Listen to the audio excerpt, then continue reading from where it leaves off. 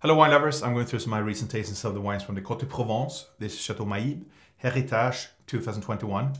A wine which is playing a fairly youthful nose. It's still pure with primary fruit flavors. We have plum, cassis, dark berries and a gentle hint of some oak-derived spiciness.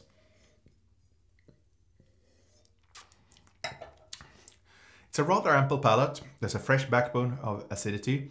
I would say this is rather moderately ripe fruit with some herbal spice notes. Mild oak, crushed red fruit with a rather long finish.